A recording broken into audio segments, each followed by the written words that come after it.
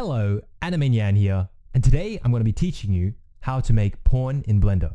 Yes, you heard me right. The reason why I made this tutorial is because I feel like there aren't enough resources um, to make NSFW content, and furthermore, I think that there's a real taboo around making porn and NSFW content, um, just art and just in general. Um, and I think this is unfair because humans naturally have sex. We're attracted to sex. So I feel like that we should be able to create art on the subject uh, if it's something that's beautiful to us um, or is attractive. Therefore, uh, I'm making this tutorial and these tutorials to dispel some of that taboo around making NSFW content in Blender and otherwise. Please join the NSFW Blender Discord in the description below. Okay, so without further ado, let's get started. So what's the final result that we want to be able to create today? Okay, so the final result that we we want to create is these images right here. Wait, okay, don't know why that was lagging, um, but yeah, so we want to create these three. So what I'm going to be doing in this tutorial here is I'm going to be teaching you how to pose the character, how to uh, light the character, add an environment, um, and a, another character, and also how to render as EXR, and then also color grade the image in DaVinci Resolve. And full credits goes to Polyfjord for his amazing tutorial on that subject.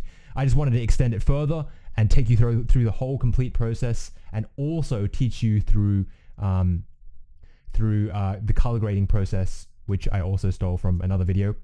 so I'll credit him in the description below. Um, so yeah, without further ado, let's get started. So what are the prerequisites for this tutorial here?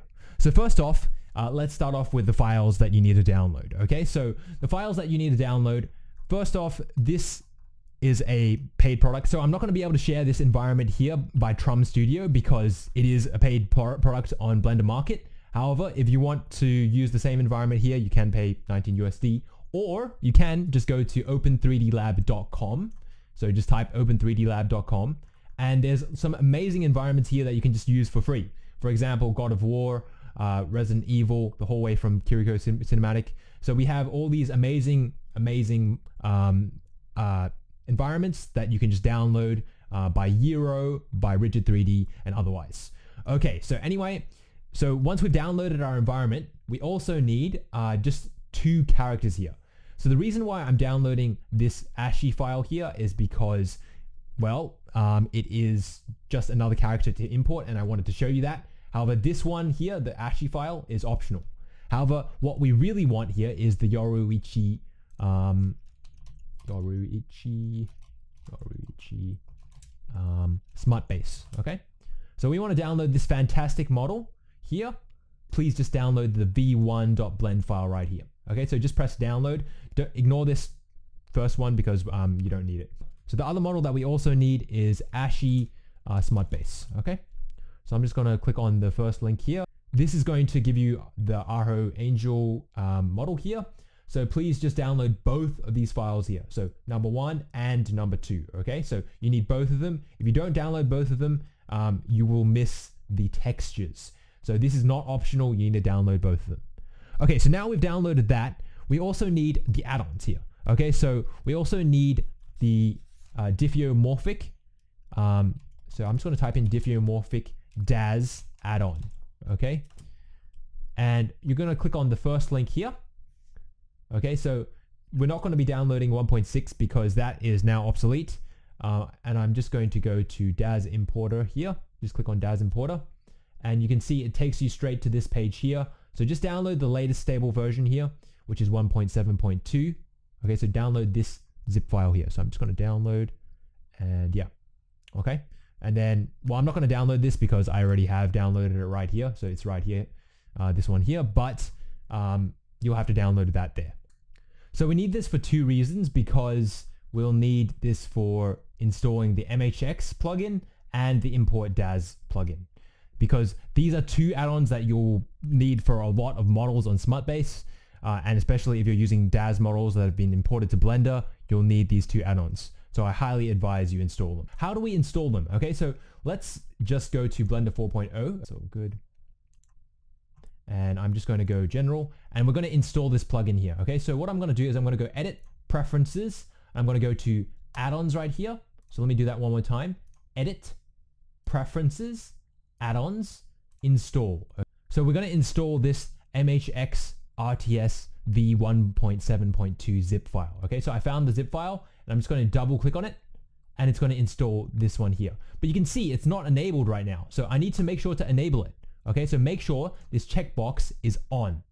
The second thing we also need to install here is the um, MHX plugin. Okay, so it did install it, but it didn't actually enable it. So you need to search in this search bar right here, MHX, and make sure it's enabled.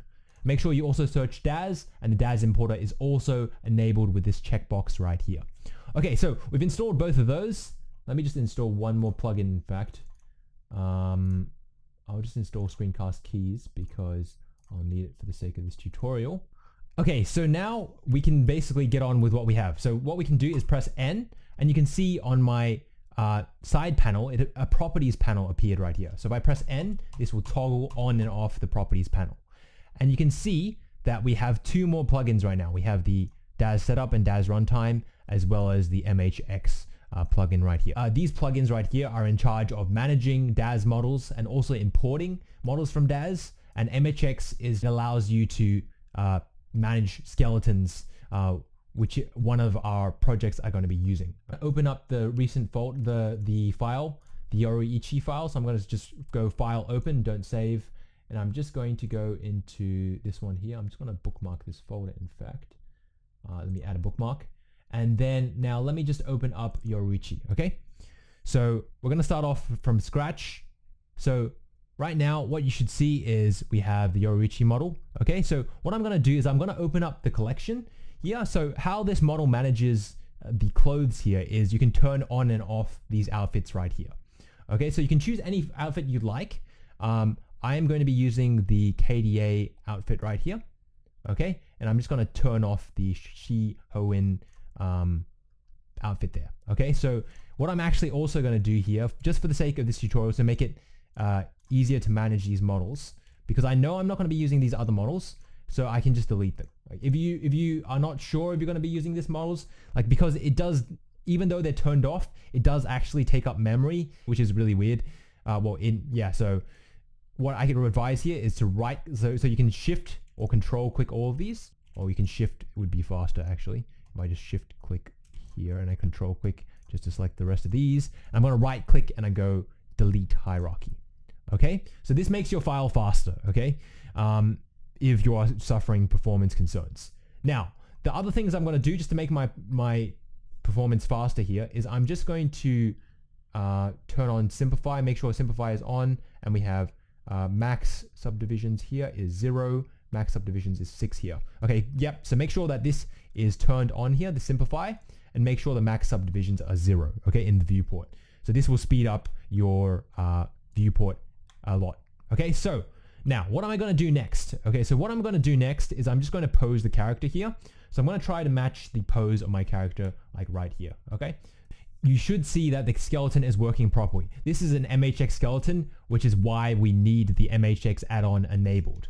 Like if we don't have this MHX right here, this skeleton is not going to work. Okay, so that's why we need to needed to install that MHX add-on. So let's get started here. So let's pose the character real quick. So I have an idea of how I'm going to pose this character already because I have done this already. So what I'm going to do is I'm just going to grab the torso bone. So we usually start off with the torso bone right here. And I'm just going to pose it right down because I know that the character is going to be crouching. Um, another common thing that you should probably have is uh, you can use a software called PureRef because what I did is I gathered a lot of references from my porn folder um, and I just used the software PureRef. So I'll just show you how to, like once you download and install it, it looks something like this. Let me just drag it over and you can just drag in files here. Okay, so for example, I have just some references that are unrelated to this video because it like it's it's NSFW and I mean I couldn't very well put in non like NSFW stuff in here. So you can just dra drag in an image right here and then you can drag in a lot of other images that you like. You, maybe that you like the color of it or you like how it's posed. Just different things like different images that you can just place in here and you can just scale them up or scale them down and you can just place them however you like, right? And you can size up or down this canvas. You can scroll in, you can use middle mouse button to look around. So PureRef is a very, very handy software that I highly advise. You can just put it on your second screen if you have a second screen and use that as a reference. But anyway, we're not going to be using that just for this here because I did use this already. Um, and let's put this down here. Okay. So first of all, I'm going to put her butt close to the ground. Okay, so now I'm just going to drag her feet here. Okay, so I don't worry about the knees right now. I'm not really worried about those. And there is something weird going on with that. That's probably because the knees are messed up at the moment. So I don't need to worry about that. So don't worry about the knees. Focus on just the how the feet will be posed. Okay, so what I'm doing here is I'm just pressing G. Okay, so G means to move, right? So when I select a bone here, I, I press G to move it. Okay, and now what I'm doing is I'm just going to rotate this small bone here. I'm going to rotate it downwards so she's her heels are on the ground. Another thing that is a really good tip is to make a mesh. So I'm going to go Shift A to make a mesh. Uh, and I'm going to go plane. Okay, so I make a plane right here. I'm just going to scale it right up. Okay, because this allows you to know where the ground is so that you can ensure your character is not clipping through. Okay, so I'm just going to do this. And now I'm going to adjust the knees now. Okay, so I'm going to adjust the knees just to the left side. Okay, so I'm just going to go to the left side. And you might be like, wait a second, why is this moving both of them at the same time already? Because this X symmetry is on. Okay, so this button right here in the top right, it's blue, right? So if I just turn this off, I can move one side at a time, right? I can just move this left leg. And I probably will have to. Um, and if I have them both on, then I can move both sides uh, that are named left and right the same. Okay, so I think she's a little bit too, oops, not that bone here. Let me just move this here. I want to angle her forward a little bit. I think she's a little bit too, maybe I'll just try this. Well, I still need to get close to the ground, but I think she needs to be back. Her, so I'm just pressing G Okay, so I'm pressing G there. And yeah, I think that's approximately it. So basically, I've seen some different, I, I looked at some different references and we are looking like at how would this be physically stable? Well, she needs to sit on her legs basically. She needs to sit on her feet. Otherwise, like this pose would not be stable. Okay, so basically how this is, is she's leaning down here and she's just gonna lean like that. Perfect. Okay, so now you can start to see some of one of the problems of this model here. Um, the claws are not perfectly on here on the left side. That is actually fine. So we're going to fix this right now. Okay, so um, what we're going to do is I'm just going to go to this skeleton, this green skeleton right here in this sidebar here. The green running man, you know, this green running man. Yeah, okay, rest position. So I'm going to go from pose position to rest position. Okay, so now that we're in rest position, what I'm going to do is I'm just going to select the claw mesh here, okay? And I'm just going to add a modifier. So let me just add a modifier by going to the blue wrench icon here. So first of all, select the claw mesh. Second, go into the modifiers here. And actually, this is not even parented. I think that might be just the thing here. Let me just try this. Let me just bring this back to pose position. No, it's not.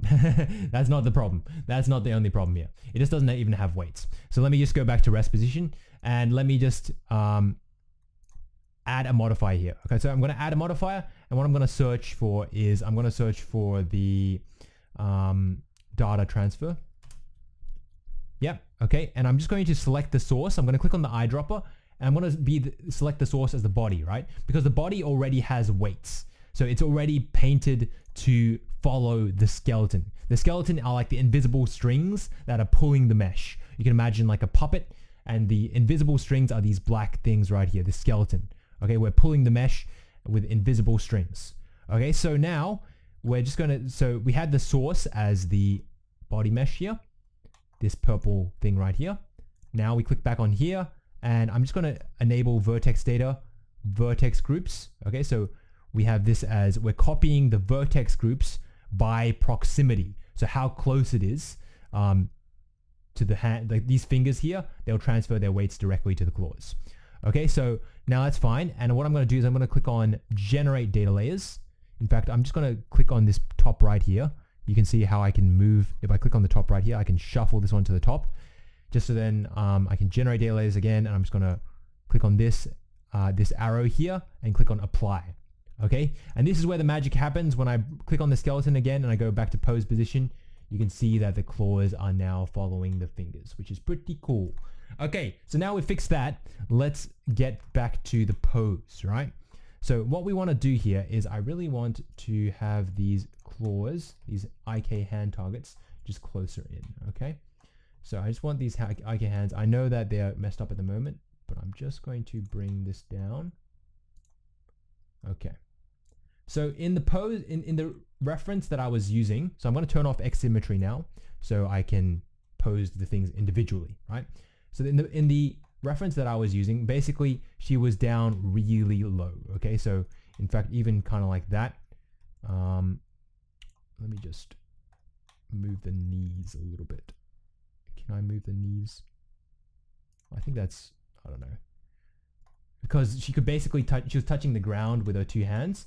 However, I decided to make that a little bit more interesting, right? So we have, in this case, I had one hand touching the ground. A tip for posing hand, hands and arms and stuff as well. Uh, let me just move that these target these targets here. So this is the direction that the shoulder points towards, right? And for this here, the pole target here is what the knee points towards, right?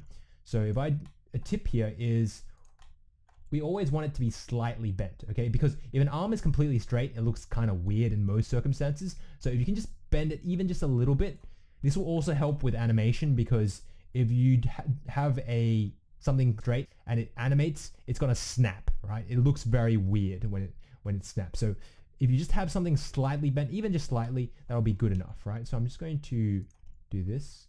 Yeah.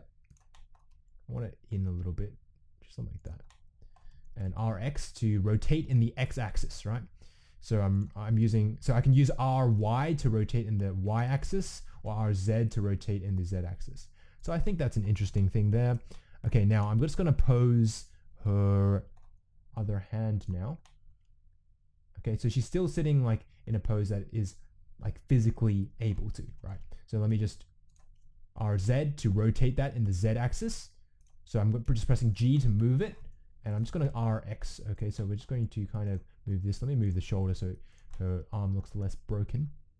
Okay, so it's going to face outwards naturally. And I'm just going to pose this down. Okay, so I want this on her leg. I won't mind the clipping for now. Okay, and I'm just going to go like that. I'll be honest, I was not very um, finicky. I was not very picky with this one here. And wow, actually that's quite, might even want to bring her up a little bit because now I just want this to align, right, to her knee. Okay, so Rx, RZ, RY, RX. Can I just, why is this not bending the way I want it to? Oh yeah, because it's in it's an axis that is weird. So I'm gonna have to go RX and probably RZ, nope, RY. Okay, just to kind of have the fingers. Uh, and her wrist is kind of broken there. So what I'm gonna do is I'm actually just gonna raise her up a little bit, so then she her arm isn't as broken. Let's see, because basically the problem here, actually no, that's not even the problem. Let me just control Z to bring that back down. Problem is like her arm is just posed way too much out. Maybe if I can just place it down the thigh a little bit, that would be more legit. Okay, so yeah, we don't have any real good method to have something outside something else. You kind of just need to determine the clipping by eye, and that's how it goes. Right. Um, I still don't like this a lot because in my other image, basically, this elbow is coming out way too far. But let me just pose everything else first and then I'll think about that. I probably should have posed this torso because it affects everything else.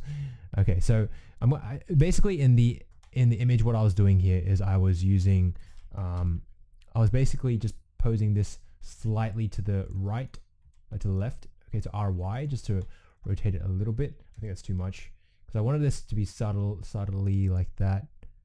And then to also adjust her head here to be to the slightly to that. So it looks like she's looking like kind of like you know how like a dog looks when it when it looks to the side, kind of like it looks a little bit cute kind of thing.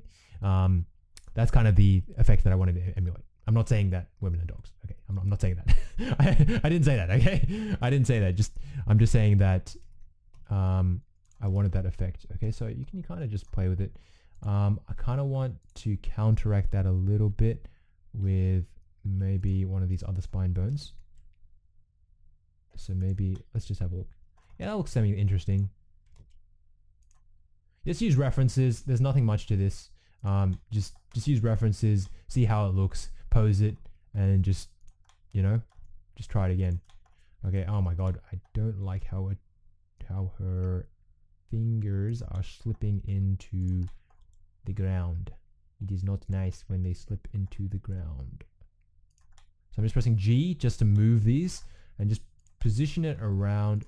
Maybe it's the shoulder actually. The shoulder is not in the right place. Maybe just let me just move it back a little bit so it seems a little bit more natural and we have that feeling going. Okay. I think I kind of like that. I'm kind of happy with that. But now we want to pose the tongue, okay? So when it comes to posing MHX skeletons, so you can use the MHX add-on, okay? But I don't want you to come under the misconception that you can always use this, okay? Because this is only if it's an MHX type skeleton. There are so many types of skeletons out there, okay? There's Rigify, there's AutoRig Pro, there's uh, MHX, there's like all the custom skeletons that you can make as well, right? So as in like you can make those are only common types of skeletons. Everything else, you can make your own rigs, right? And you can make, you can name bones whatever you want.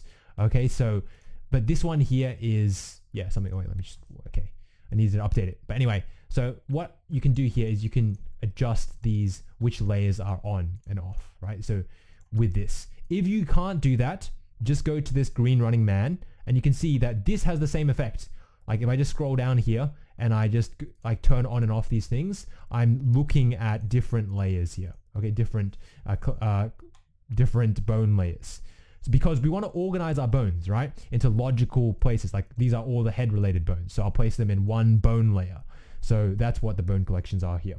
Okay, so anyway, let's just enable the head layer and I'm going to click on her mouth here. So you might be under the conception that you can just go G and you can do this if you want, if you just press G and you just move it out. I think it looks a little bit awkward. So what I like doing is just going RX. So we're rotating and it's kind of like, it's kind of like a hinge. So her jaw is like actually in place and it doesn't dislocate. Um, so I'm just going to move it actually quite, quite wide here. Okay. And now what we're going to do here is we're going to open the tongue. Okay. So the tongue is really annoying for this model, but it's okay. Uh, what we can do is we can go to properties and it is actually under right here, tongue IK.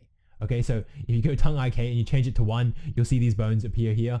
I don't know why this is not on by default, but anyway, let's just go shift, select all these bones, these tongue bones, these like things here, right? And we're gonna go G. Okay, so because we kind of want, let me just use numpad three, and I'm just gonna move it out first. And now I'm just going to manipulate these. Okay, so it's just using a stretch to constraint, so it's kind of, we can stretch this as long as we want. Um, but let me just bring back some of that in. Um, and let's see how that looks. Let's place in a camera after this, I think. Because, whoa, whoa, whoa, whoa, whoa, whoa, whoa. The tongue is in the wrong place. Let me just press G to move that back into her actual mouth. And yeah, that's good. And let me just bring that, nope. Let me bring this outwards a little bit so we prevent some of that clipping. And here we have the classic Ahegao face uh, that we all know and love. So let me just move that in. Okay, now let me just bring in the camera and let's let's go to material preview mode. Okay, so material preview mode will actually basically show you the materials as you think. Um, but yeah, okay. And if you see that there are pink materials right here, um, what you're going to have to do is make sure that you've downloaded the textures. Like if you're using another model, like make sure you've downloaded the textures and unzipped the other textures as well.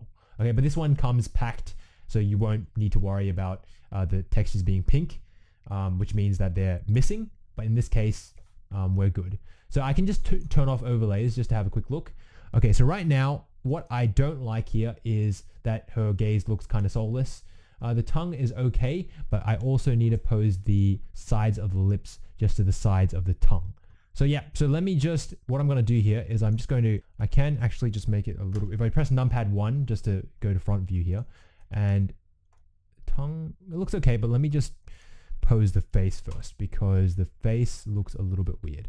So let me just turn on the face layer and turn off the head layer so it gets less confusing.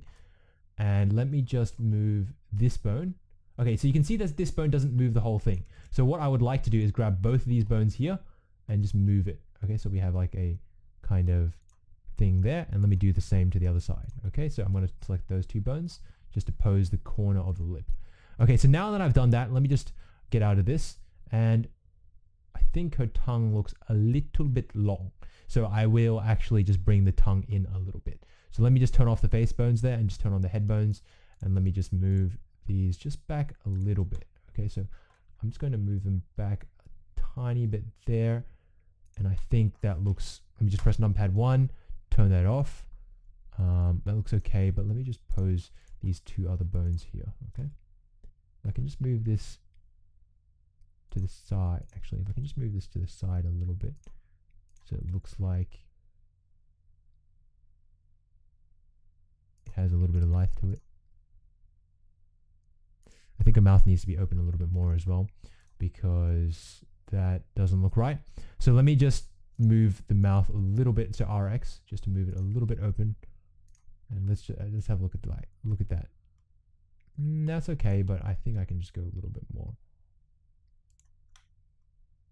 Okay. Let me just go numpad 1. I still need to adjust the face bones then accordingly because they should be in like the corner.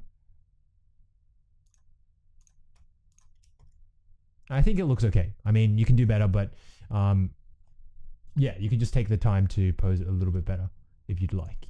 Um, but I'm just going to move these two in and I'm just going to move these two, sorry, these two bones here, these two circles over. Okay, let's have a look at that. Yeah, that looks okay. Um, now, let's just fix that gaze a little bit as well. So let me just change to the head bone. And what I'm going to do is I'm just going to focus. So I'm going to turn off the overlays and just press G. And I want this to, you can go like really ahegao if you really want, but I think it looks better just to have the eyes in the upper corner, but but also like kind of looking at the camera. We can adjust the camera, like looking at the camera later, but yeah. Tongue still seems a little bit long. I just don't like how unnaturally long it is. So I'm just going to bring it in a little bit just so it looks a little bit less awkward. It is now clipping through. Um, how does this look? Numpad 1. I don't know. it's kind of just irking me. Yeah, good enough, good enough. We'll, we'll call it good enough.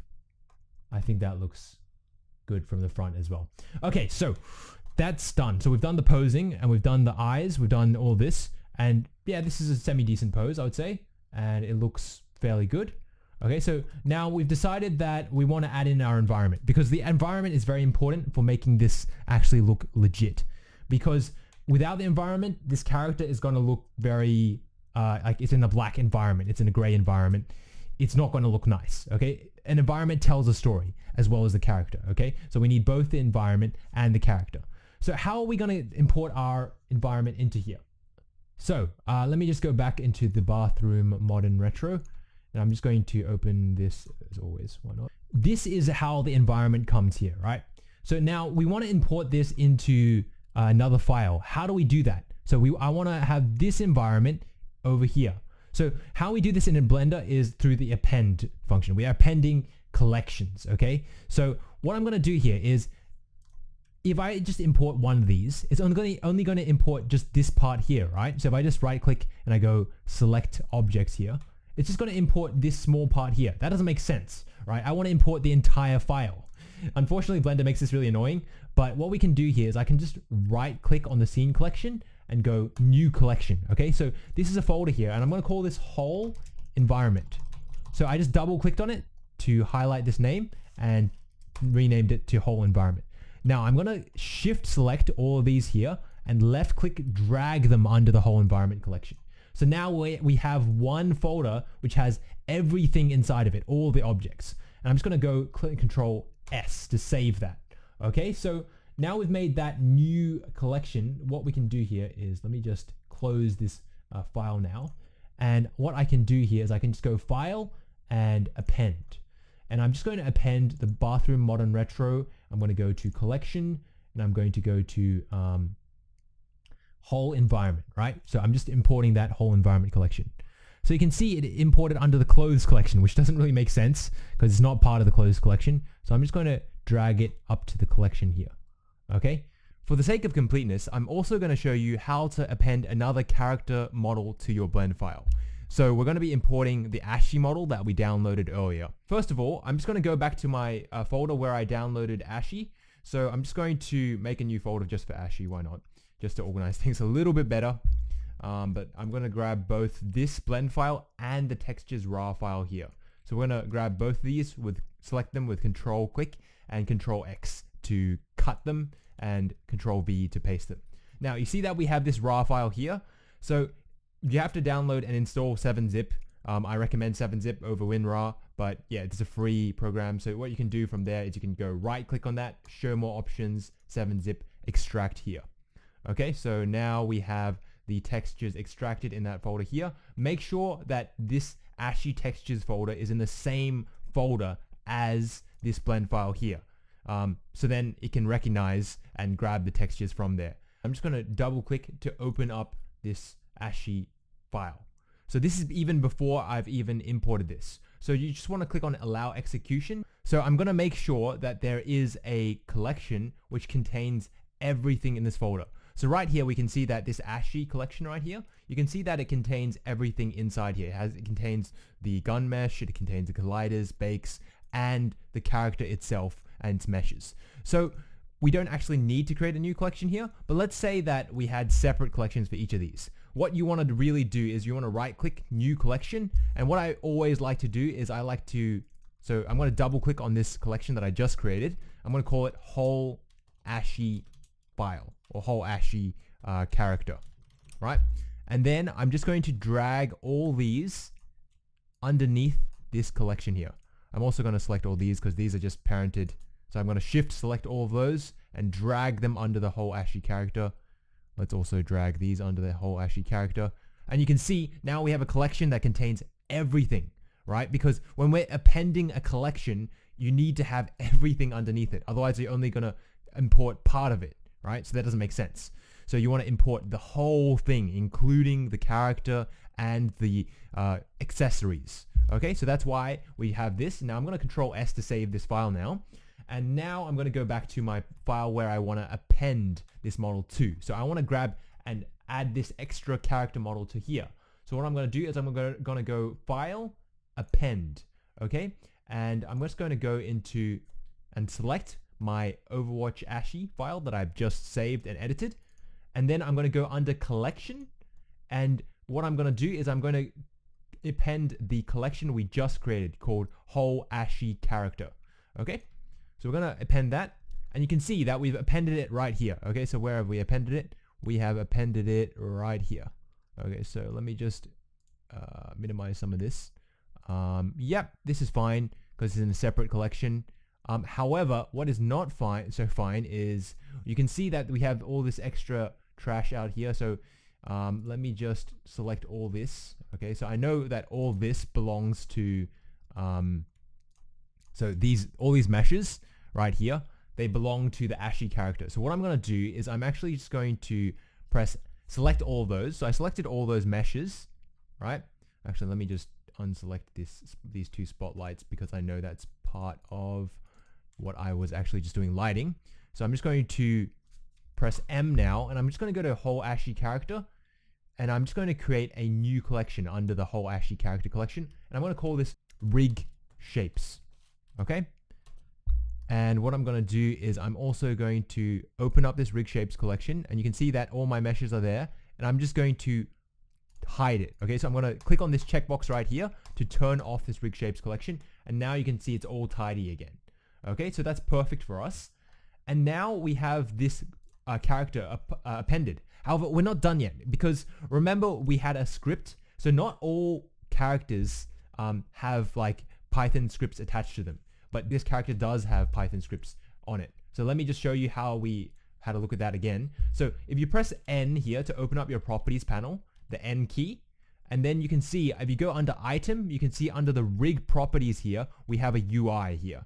Which, so this pretty much selects between outfits. So you can press here to click to the next outfit and such. Um, however, um, you'll see when you click on the skeleton here and you go under item, we don't have this. There's nothing here. So how do we append, use this script here? Or we can actually just go to the scripting tab. Okay, there's no scripting tab. Uh, no, there is. Scripting tabs here. And what we do is make sure you've selected the skeleton here. Okay, so we've selected the skeleton here. And then we click on this notepad here. And you can see that we have this rig UI ashy.py. So you want to click on notepad, click on the rig UI ashy.py. And then Make sure that the skeleton is selected again, not the mesh or anything else. Make sure the skeleton, the ashy skeleton is selected, then press the play button. Okay, now when we go back to the layout tab, you'll see that we have successfully added the script, run the script against this selected skeleton.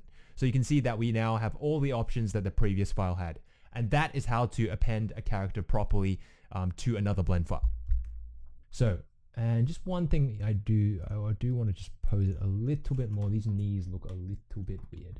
So let me just pose this one up a little bit above that plane and just ensure that that's not, nothing is clipping. Yeah, nothing's really clipping, so it's pretty good. Um, yeah, that's pretty good. Whatever. Okay, so that's good. And now what I'm going to do now is I'm just going to actually move this whole, whole environment. Okay, so let me just turn back on overlays here. And I'm just going to right click I'm going to left click on this and I, what I like to do is uh, right click, select objects. So let me do that one more time for you. Okay, so this is the whole environment collection, right? So I'm just going to, uh, in fact, let me right click and just give it a different color, like red.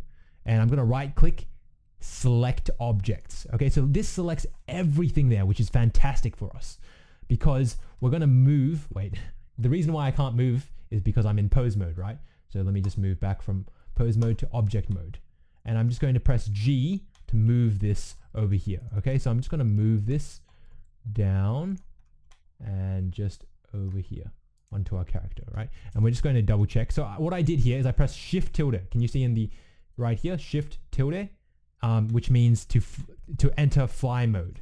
Okay, so now I can use WASD to move, right? This is really, really, really valuable when moving across huge scenes. Okay, you can see I'm moving very, very slow when I use the WASD keys. So let me just scroll in with my mouse wheel so I can move faster, right? Okay, so now we're in here, which is great, but I kind of want everything to be um, here. Wait, let me just see. Let me just use the uh, middle mouse button to rotate.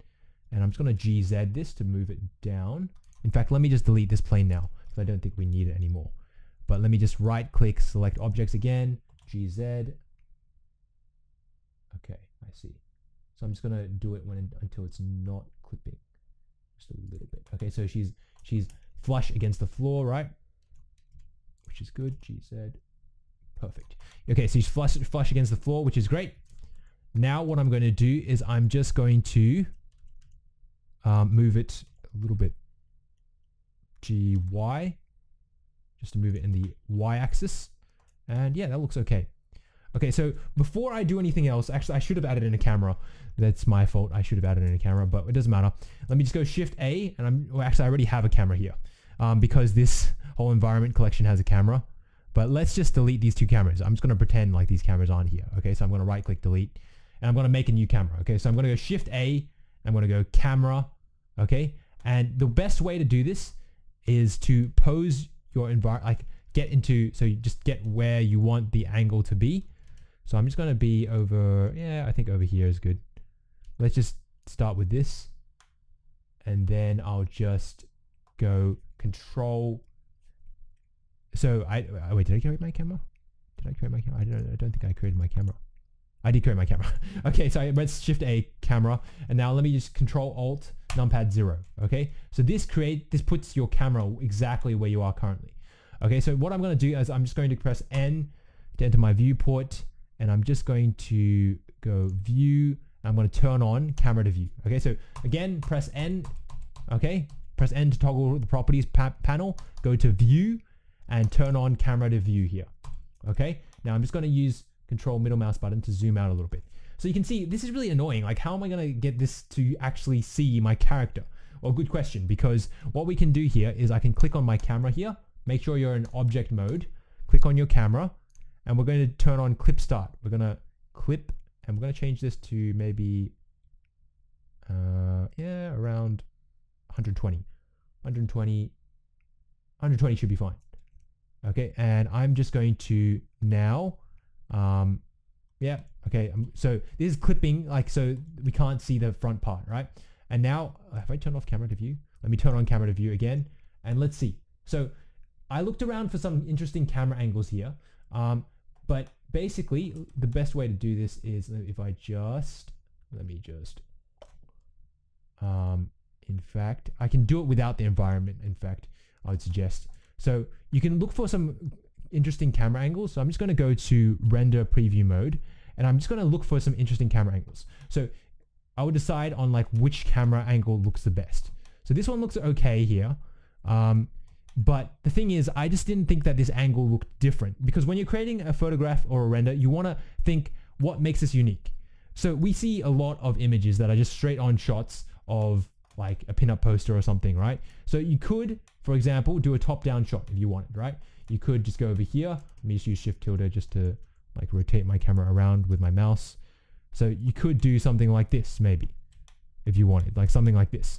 Um, this is a little bit more unique. Again, remember that the most important thing with this is to really zoom into the parts that are important. And what are the parts that are important in this image?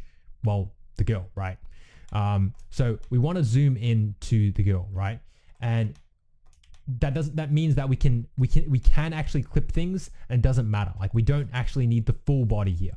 But for this image here, I'm just going to tell you in advance because I already have a example, like had a an angle planned out. So I'm just going to use like around this image, I think around this here. Let me just have a look at this. So I'm just going to turn off overlays so I can see this more clearly. And something like this. Yeah.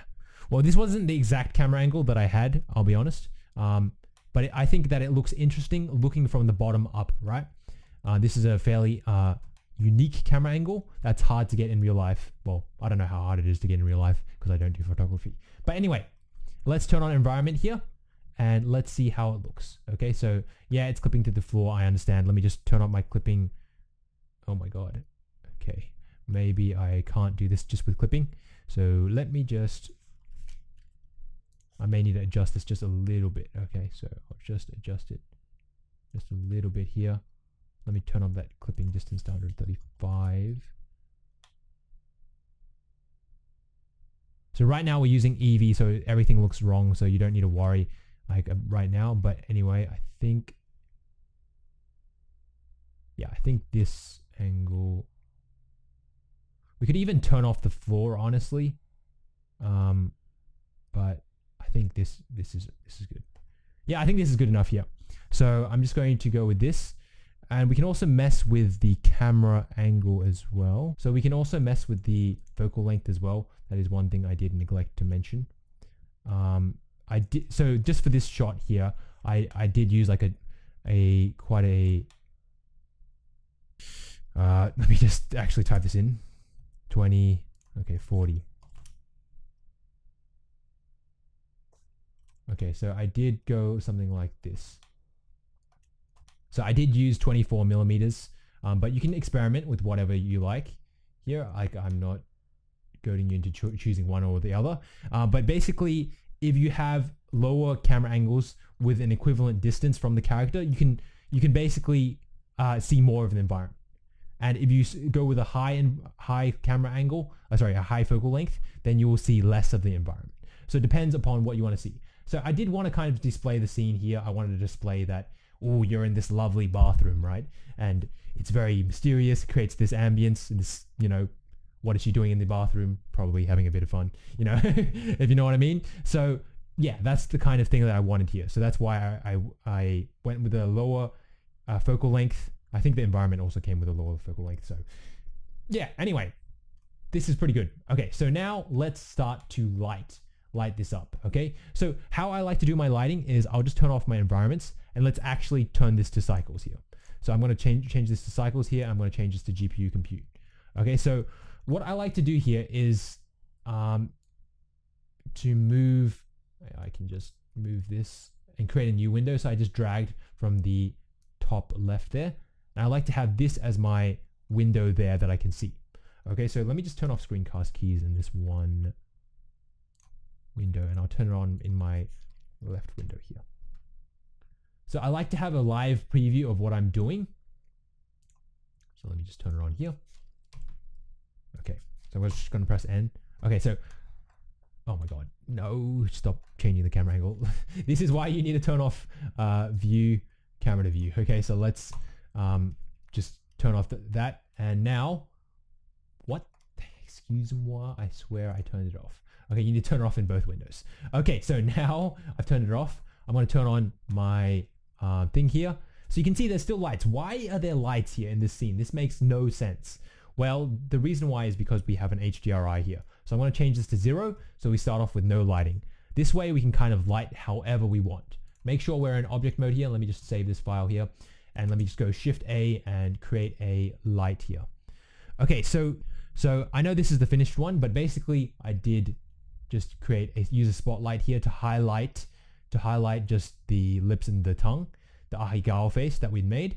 And basically the other ones, I'll just walk you through the process. I'm not sure we'll get the exact same lighting, but let me just show you the exact lighting that I did use. So what I did use here was I used um, some area lights. I'll put this file up for download, so don't worry about remembering this. You can just come and visit this file at any time. But I used an area light. I used a another area light in the shape of an ellipse that was pink. I used um, the spotlight. This is the spotlight for just showing her body more, but also let's have a look at this one here. So this here, wait, sorry, where's my actual spotlight? Swear that this was, okay, here it is. Okay, here's the spotlight that I used just to highlight that. But before I even do that, let me just show you why lighting is very important. You should probably spend the most time in your in making your image in lighting, okay? The reason why this is very important is because if I just choose to light up my subject like this, it looks very, very boring, okay? Let me just show you exactly. So I'll create a comparison here. So this will be our base comparison. I'll render this out, in fact. So, and also there is a little bit of clipping here. Let me use sculpt mode here. Okay, so let me just, because I did notice that there was a little bit of clipping here. So what I'm going to do is I'm just going to go to the data here. So I went to sculpt mode here and I'm just going to create a new shape key. Okay, so under shape keys here, I just press the plus icon here to create a new shape key here. And let me just say adjustment. Make sure to change this to one, otherwise you have zero effect, right? And you sculpt and nothing will happen. And let me just sculpt this a little bit. Anyway, that was just annoying me, doesn't matter. Let's just bring this back to object mode here. So this looks very, very, very boring. If you just use straight on lighting here and you just put it like, and, and you don't include any shadow like this, this is called flat lighting, okay? Because the whole image is lit exactly the same. And shadows are your friend in lighting, okay? So we need to create shadow because otherwise the eye has a very hard time in seeing 3D shapes, right? If you've sculpted or you have this lovely, lovely model and then you just light it like this, it will look terrible, okay? I'm just going to use Snip and Sketch because I can't be bothered like actually rendering this out.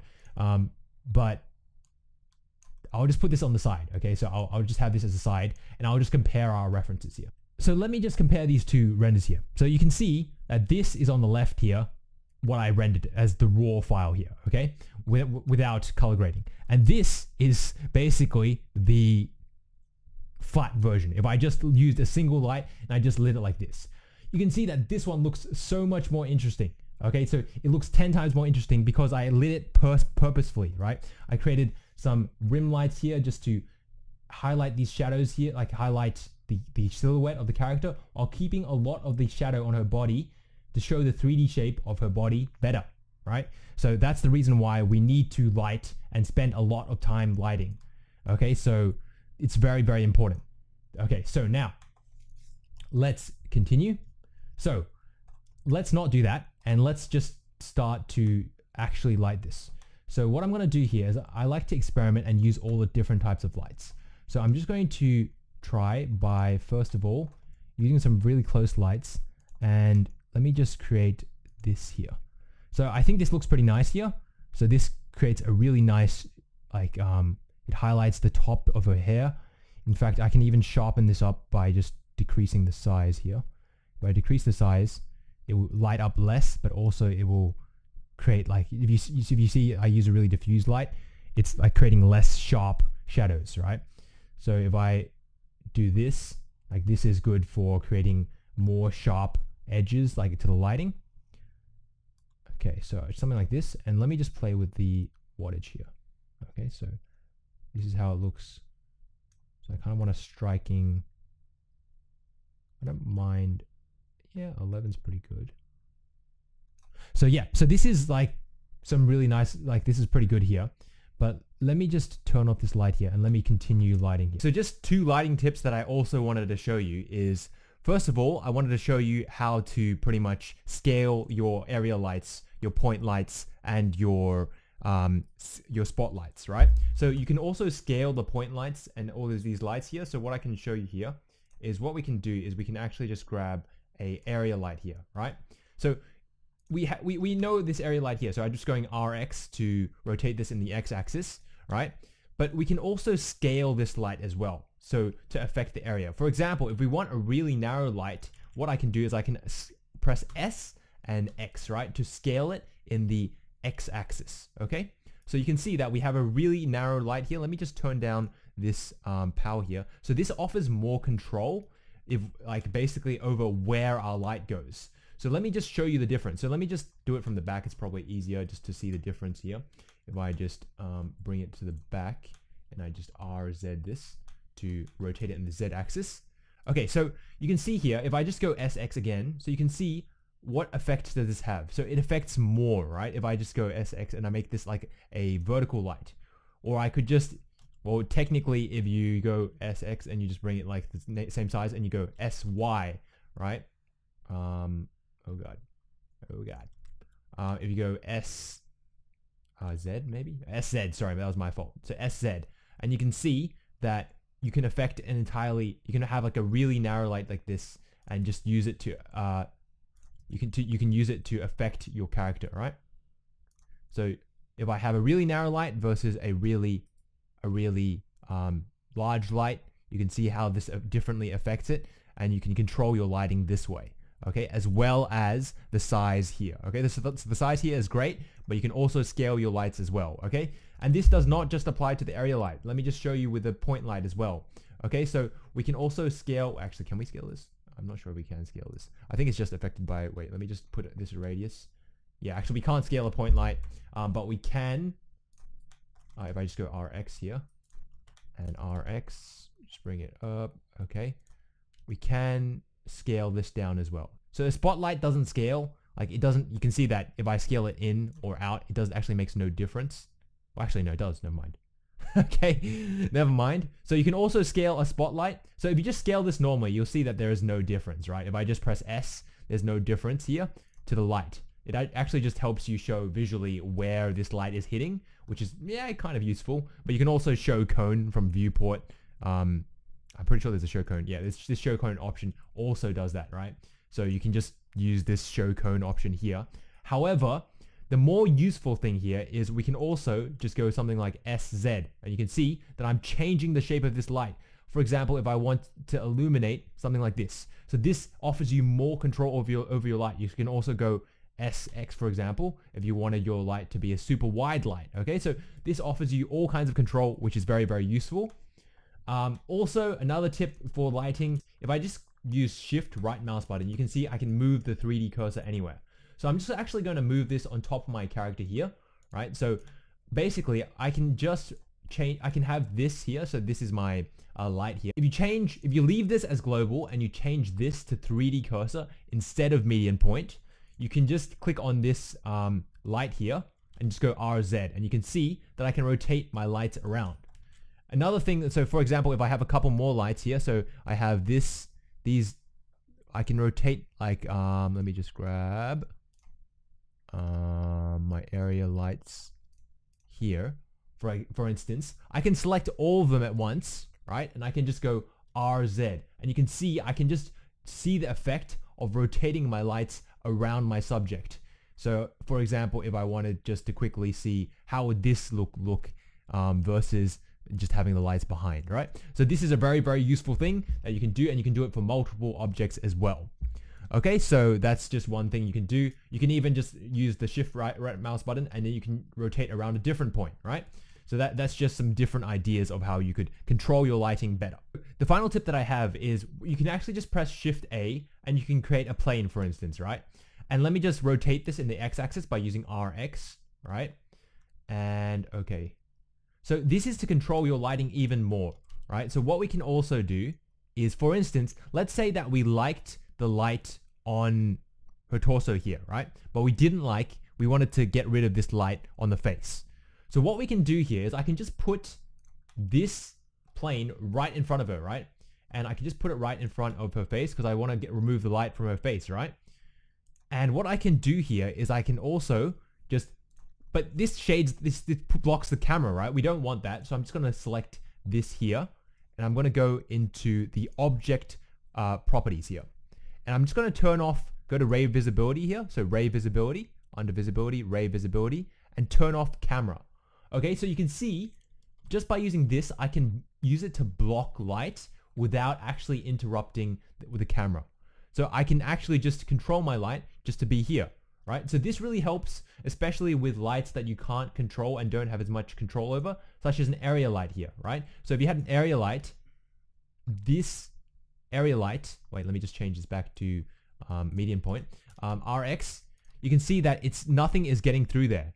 And I can actually light this better, right? So it's pretty cool here. So that's one way you can use to block light um, I think you can even I think you can even do it for certain lights as well, but don't ask me how the material setup is because I don't know how to do that. But you could probably just block it for one light for maximum control. So I'm going to add in another light. Okay, so what I want here is I want to experiment. Okay, so I don't want to use the same lighting setup, like the same three-point lighting setup. Like, why do you need to in 3D? There's no point, right? You can use as many lights as you want. I'd rather just experiment and try a lot of different uh, styles. So uh, and use a lot of different types of lights rather than oh god, yeah, the lag. Okay, so I'd rather use. So let me just use Alt R to bring it back to the original rotation.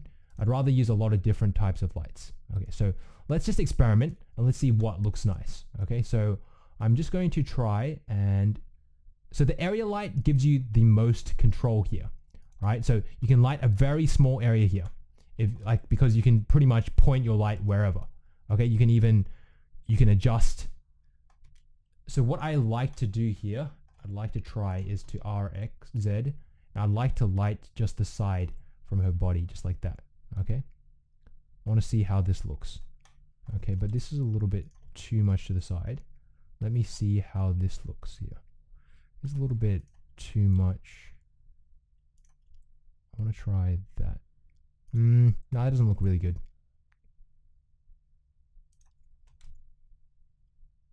Okay, so let me just up the wattage first. And let me just down the spot size. And I want to really focus this. How am I going to get this across? Okay, so let me just move this further away from her. Okay, yeah, this doesn't work. this doesn't work. I don't like this light. Um, let me try this again. I do tend to favor area lights. I do like area lights a lot because I pretty much use area lights everywhere in my lighting. Um, and if I don't, if I really don't know what to do, what I'll do is I'll I'll just start with the backlights because the backlights pretty much always look good. Okay, they make your they really make your character stand out, and we can just add both these lights in, and you can see just how much even just that much does, right? So if I just rotate this in the Z axis, okay, so this means that it'll be, oops, not the Z axis. Let me rotate it in the X, in the Y axis here. Oops, not that axis. Let me rotate in the X, oh, come on. Let me rotate this in the X axis. So I'll just go Z axis, so RZ. And this means that I'll get more of that, I'll get it more hitting, I'll get it less of this thing here. Because if I go R, RZ entirely, you can see that this will pretty much, it will, it will light the whole thing. So it won't actually work. So I want to go RZ and I want to have this just light, use it as a backlight, as a rim light. Okay, so I'm just going to go like this. Like that, okay. Um, I like the shoulder, so I'm just gonna, I like that effect there. Okay, cool. So we kind of have like a ninja, it looked like a ninja master just from that. But let me just add in, so we need a little bit more light on the central torso area. So let's just have a look. Let me try some point lights. And I didn't even try to adjust the, let me just turn off the point light here.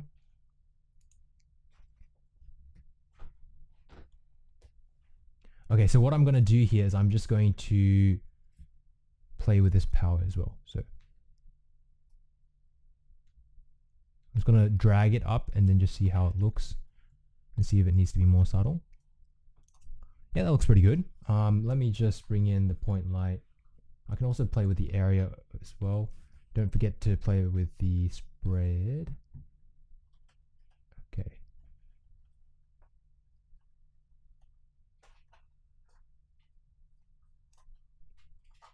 Mm-hmm. Interesting. I do like it better spread, in fact. Um, okay, and let me just play with the size as well.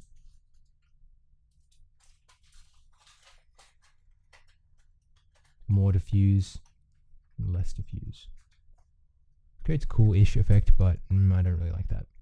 I'd rather it highlights the shoulders, just so we can have a good cutout from the background, right? So now let me just go Shift A and I'm going to bring in a point light here, as I said before. What I like to do with point lights here is I like to just bring down their radius. So I just have it as one, actually,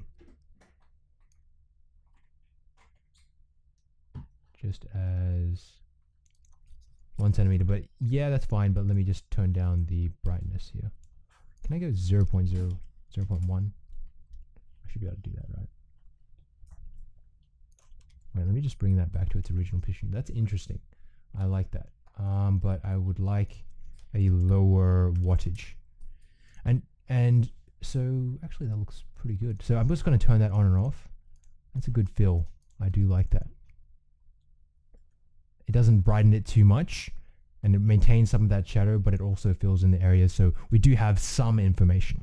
And remember that I like my images. I lean towards my images being a little bit brighter because for Twitter and other mobile devices, they're usually a lot darker than what your screen can see. Okay, so I will light this a little bit. I will try to add some more light here. Okay, so let me just try at the spot. Okay, so RZ, RX, Okay, so now I'm just going to go for the actual light that was kind of the key point of this image. If you have a look um, at my reference, or not my reference, my actual finished image, because I wanted to create the same look as the, like having like a blindfold basically. Because um, I wanted to focus the attention on, um, well, the face there, like the bottom area of the face. So let me just try that. Okay, so I'm just going to focus this down, okay? Because I thought it's interesting. It looks kind of like almost like the the NieR Automata like androids how they have a blindfold on. Um, and that's kind of what I wanted to make my image unique. So I'm just going to bring down my spot size. I'm just going to just bring it lower. And you can see we're kind of creating that. I think there's a little bit too much light there I'm going to bring down my spot size even further. I'm going to play with the power. And the blend, I'm just going to bring up because I want this to blend in pretty seamlessly. And let me just have a look by zooming in. I think that's a little bit too too powerful. So let me just bring that down. Okay, so now I can I can also start incorporating some different kind of color into my image as well. Um, I don't actually like how this is.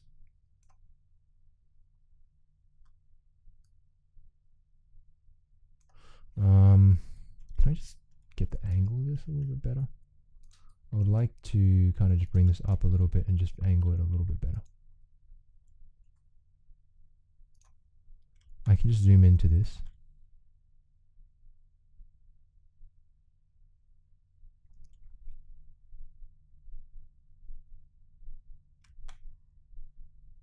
May need to repose that just a little bit. It looks a little bit off.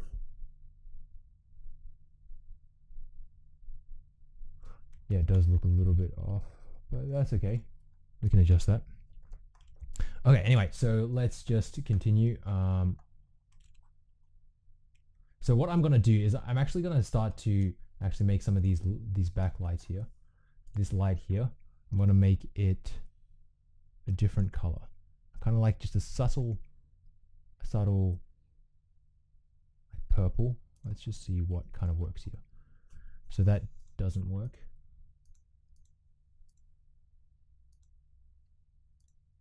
So you want to keep around the white. If you go way too neon, this looks like you're in like you're in a a, a club or some other environment because the the colors are too saturated, right? So I want to keep around white. Can just go dip a little bit into the color, and I think that usually looks best. Um, I'm just thinking, how would this look? Looks decent. I mean, but let me just try.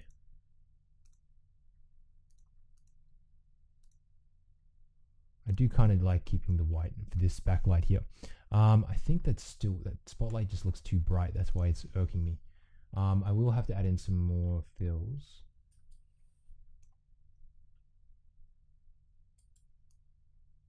All right, that's, that's fair enough. Now let me just add in some more. I think I might just add in some a point light here.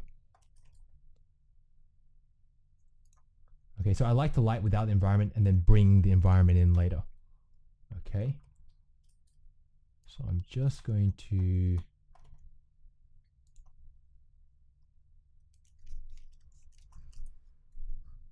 um, bring this down a lot.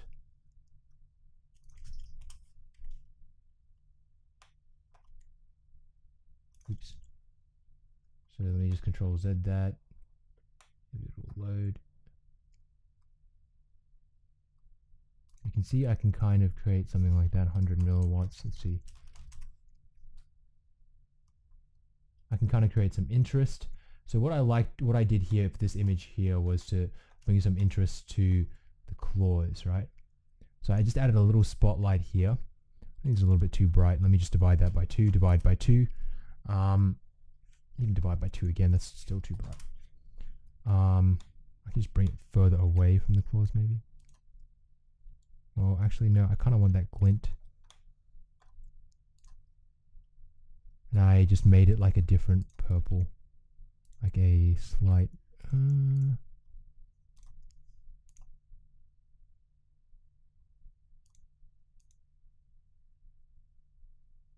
yeah, but needs to, that's too close to the hand. It's a little bit too noticeable. I can just have it like this. Let's let's see if I add and delete. Maybe a little bit more than that. Let me times that by two. And I don't 100% like how this. Where's my other light? Was it this light? Hmm. I'm just contemplating if I can just get this It's a little bit bright. Let me just divide it by two. Uh, let me just see.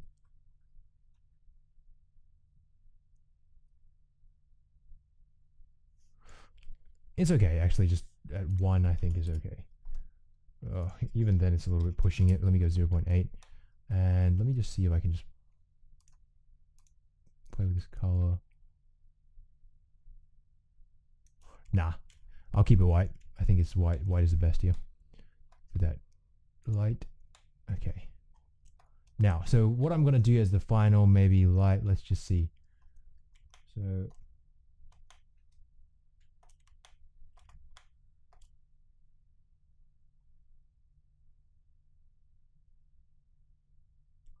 let me also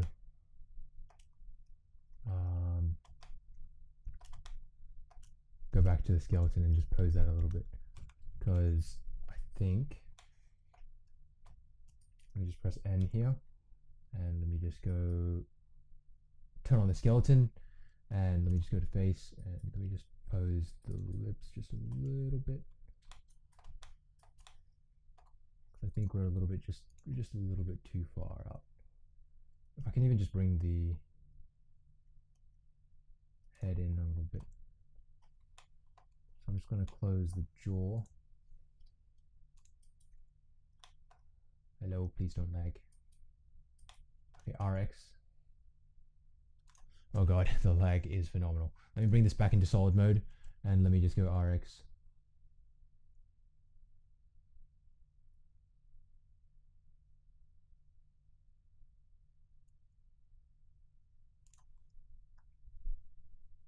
Yeah, I can see what, what is wrong about there actually. Let me just move this here. Turn off face, turn on the head. I think the tongue needs to be to the right.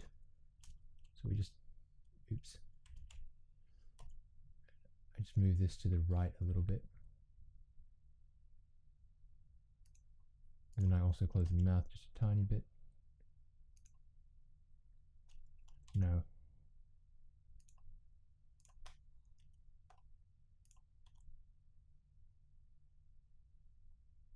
Yeah, fair enough. I think something like that is good enough. Um, okay, so let me just bring this back to object mode. And I think I am done here. Let's have a look. So let's have a look at uh, how our lighting's turned out. I think we need one more. I'll add in one more just to the left side, coming from the left side. RZ, this one, and I'll just bring this size down incredibly. I'll also bring the brightness down incredibly. I really want this just to shine like this. I can get, even get an angle behind. I'm just curious, how does an angle behind look like?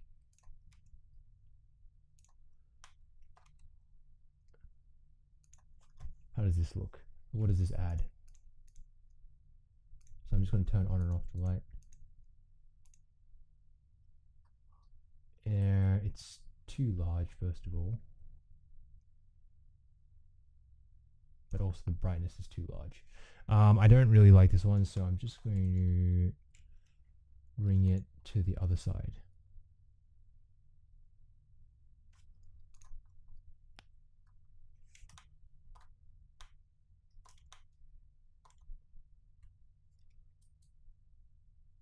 That's actually okay here, actually, as a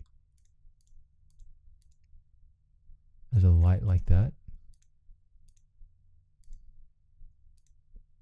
I want to keep the same like purple bluish. And I kind of it's, it's kind of a nice highlight, so I don't actually mind that. So I'll just bring in another area. And I'll just because I really want to just light up the side a little bit, but not too much. Um, ellipse but then again like ellipse does not really make a difference honestly um,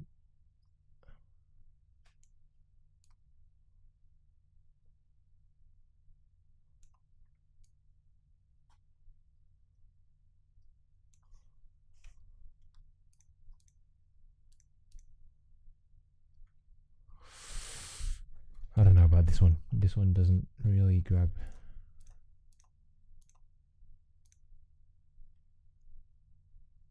No, it doesn't. It doesn't feel right. Um, I maybe grab. I'll grab one more point, and I'll just grab it and I'll put it maybe to the left. Maybe this one will look better. Because I just think that the light needs to be there.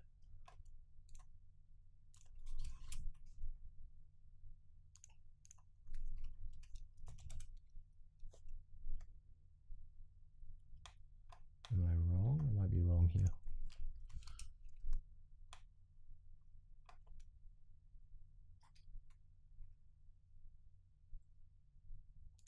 Let me just feel how it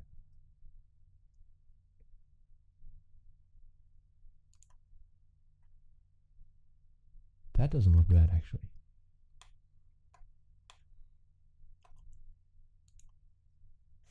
Now I like it back in the other position here.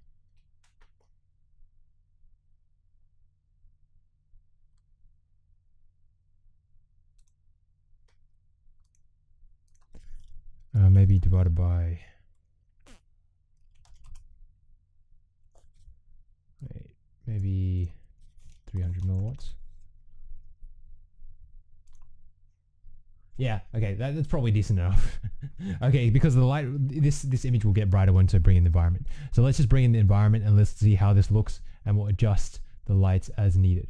Okay, so you can see that the light, the environment has actually just blown out all these. So the reason why is because of this material right here. So let me just click on the this one here um, I think it's this one, right? If I just go to the shading tab here, because you can notice that sometimes materials have emission and that is why um, they can light up things. So is this the one with the emission? No, it is not. I'm looking for this one right here. Yep, so I just click on the mesh and then I'm just going to bring down the emission to maybe like, maybe just like two or something like 1.8 and let's just have a look at that Let's have a look, have a look and see if that is better.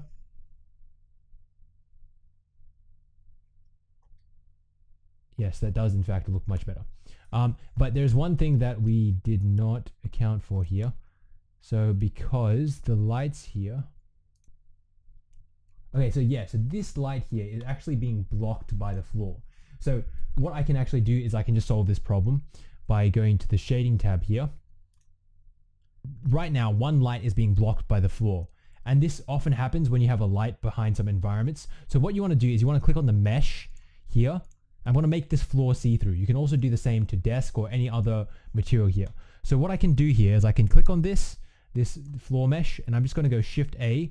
I'm going to search for um, the light, uh, light path node and I'm just going to put it down. Okay, second thing I also want is I want the transparent BSDF. Okay, so I'm just going to click on Shift A to make a new node, transparent BSDF, and I want the mix shader. Okay, so I want to bring this material output to the end here. And how this is going to work is we are going to basically use a mix shader. So I'm going to Shift A, mix shader, and I put this at the end. Okay, so what I'm going to do is I'm going to have transparent BSDF connect to the first shader and principal BSDF uh, go to the second. Now, the way we're going to determine like, is this transparent is if it's a camera ray. So basically, if it's a camera ray, it's going to use the second one, right? So if it's a camera ray, it's going to use the normal material. If it's not, if it's just a non-camera ray, then it's going to just use transparent BSDF. So therefore, the light can actually go through. That's why we are seeing a small difference in the lighting compared to with and without. Um, actually, I think this actually looks better without, I'll be honest, because the light is balancing the, the floor is balancing the light everywhere, which is not actually conducive um, to good lighting. Um, let me just turn off the environment for a second.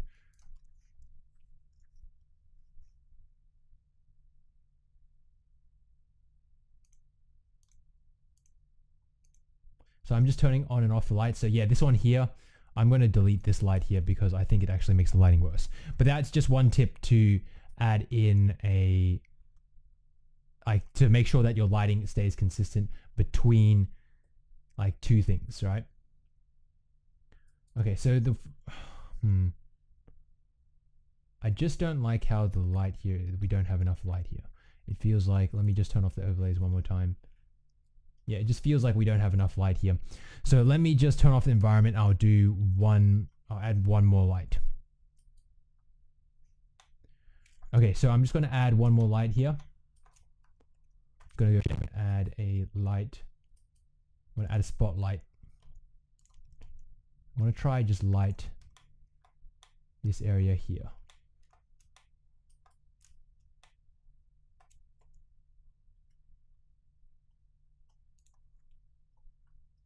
But I want to go like reduce the power. That doesn't actually look bad. That's actually okay. I kind of like that. Let me just...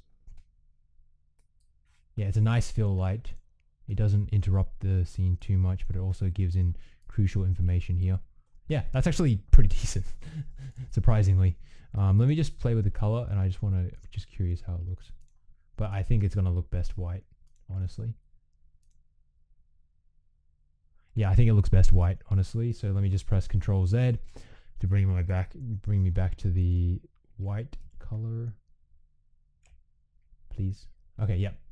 There we go. Yep, that looks good. Okay, so what we're going to do is I, just so that, like, because when we add this light back in, or we add the environment back in. So that's good. Okay, so now what I'm going to do is I'm just going to uh, basically just render this out. So you can use an HDRI in the background. I found that even just bumping up the HDRI a little bit kind of just looked bad because I, I kind of want this to be like a night scene. So if I just bump it up like that, you can see it looks kind of bad. So I just took it out altogether. If I can just bring this back to zero.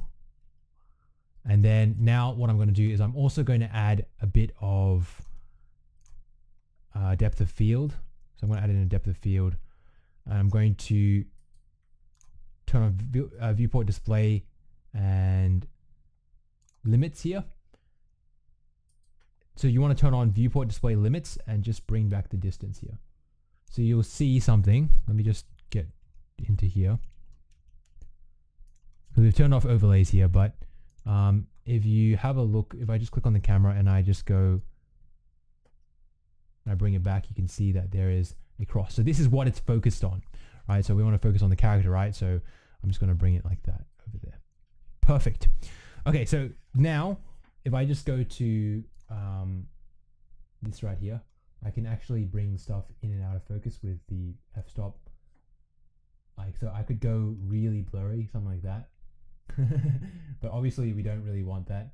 So what I I I just like to keep it subtle, honestly. So like 2.4 is okay for me. Like you can even have no. I don't think this this photo really needs the depth of field, but yeah. So I don't like to overemphasize it. Like there's no need to overemphasize. We have an interesting image here. We should just keep the focus on the interesting image. We shouldn't like use tacky gimmicks. Okay, so yeah, this is fine. Okay, so let us now render this out and I'll show you how to uh, color grade this. So one thing here, I did just press N, I went to view, camera to view, and I adjusted just the character just to be a little bit more in the center. And I turned off the depth of field because it was a little bit too distracting and made the rest of the image blurry. Environment tutorial. Okay, so now I, what I'm going to do is I'm just going to change this from FFmpeg video to OpenEXR.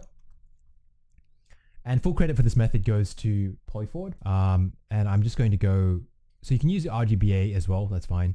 Um, if you have like a background which you want to like insert in later. Now what I'm going to do is I'm going to change this from uh, zip to DWAA lossy.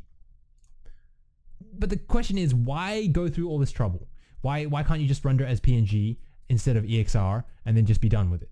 The reason why is because this here gives us a lot more data that we can work with. And we can change the colors of the image a lot more easily if we render an EXR and follow this workflow.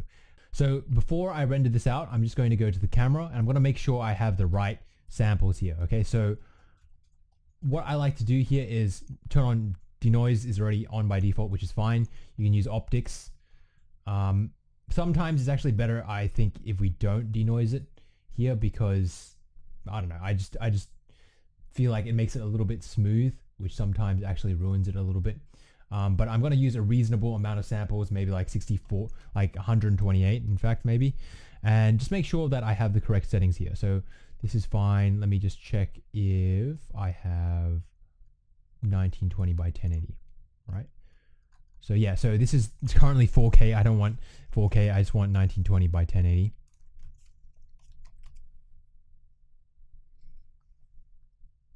And this can load in and I'll just go 100% instead and I'll save.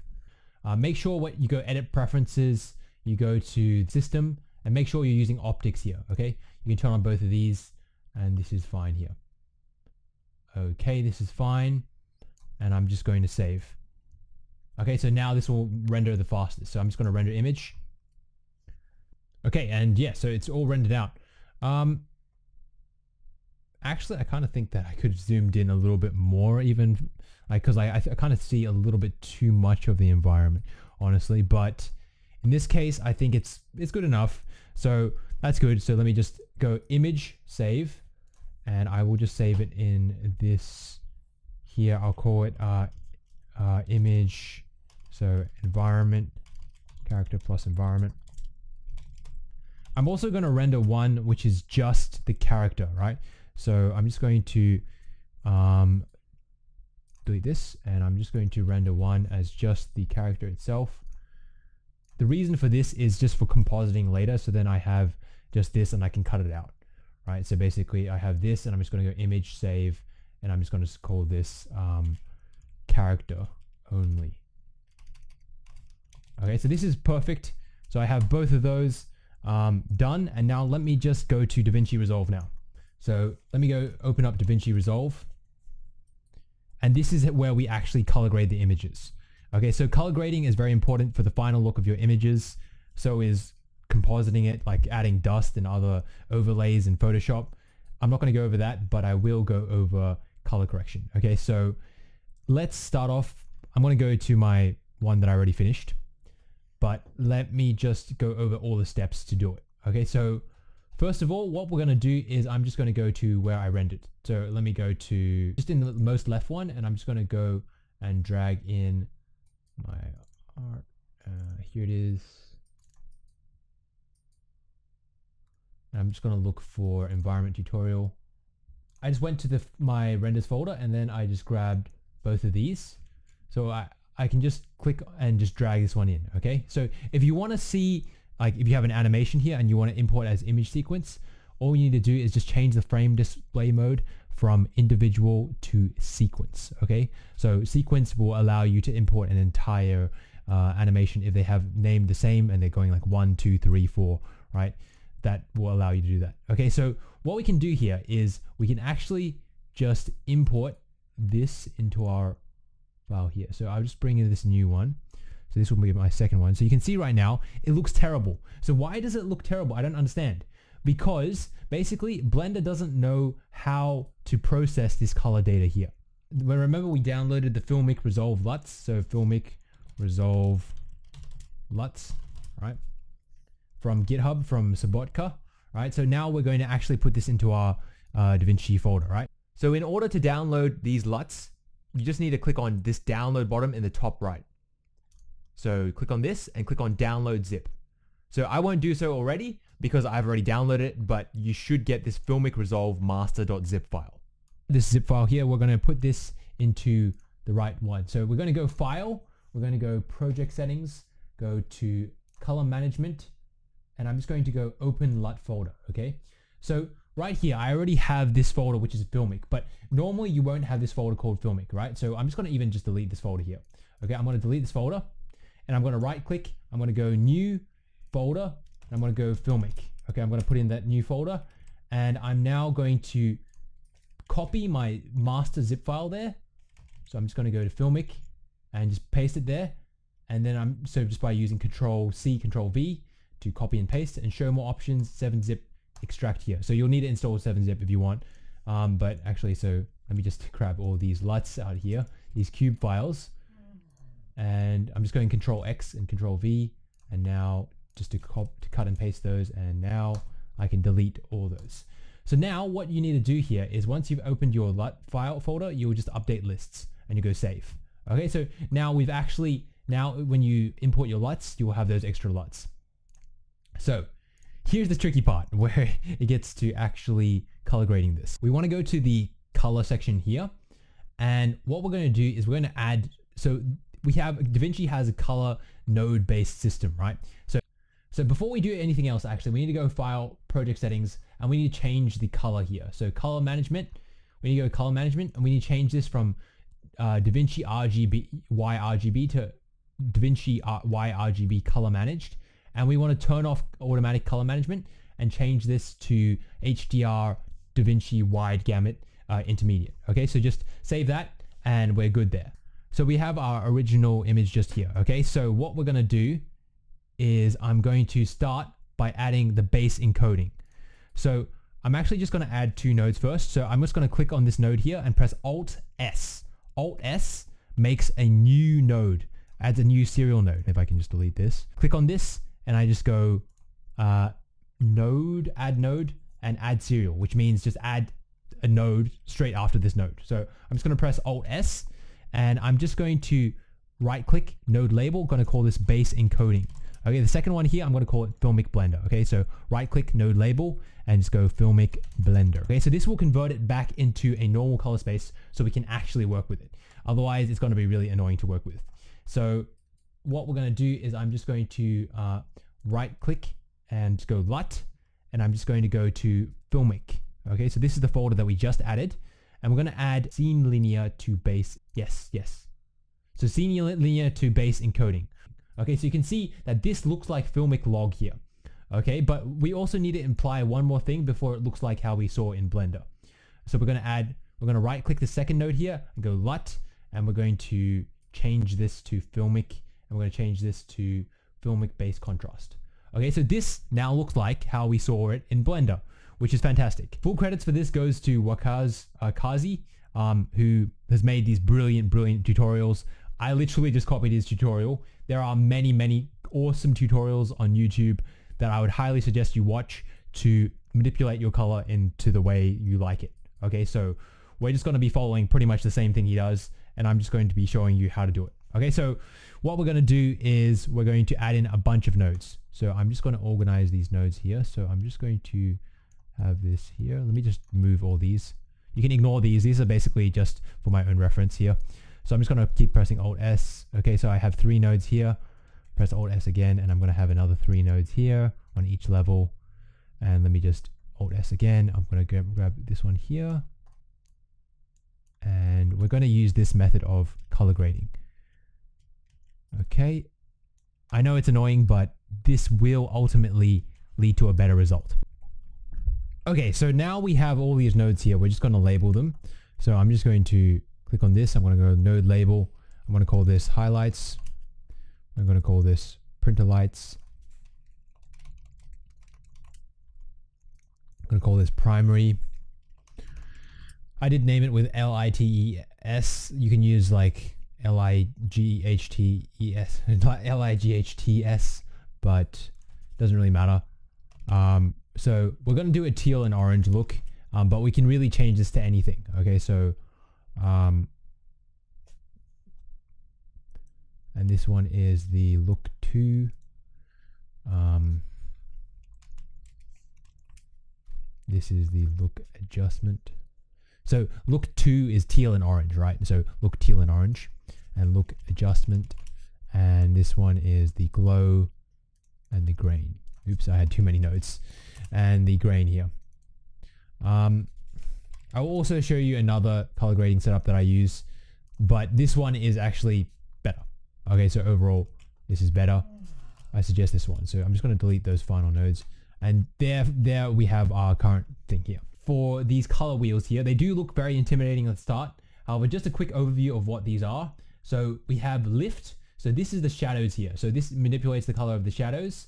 Um, gamma manipulates the uh, basically the midtones, which in, which usually includes skin tones, and gain inc uh, includes just the the brightest parts of the image, so the highlights, right? And the offset uh, moves the entire image equally. First of all, we're going to start with the primaries. Okay, so we're going to look at this one here. And usually what we will do is we'll bring up our scopes here. Okay, and I'm just going to click on this button here to pop them out. Okay, so I like to have the parade here. So we can use the parade and the vector scope.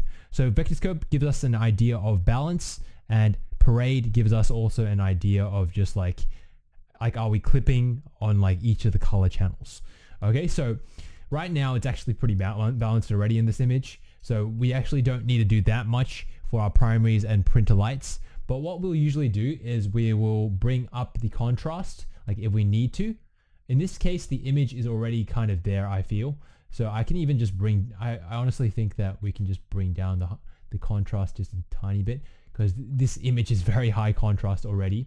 But if your image is not high contrast, you can bring up the contrast here. That like hugely.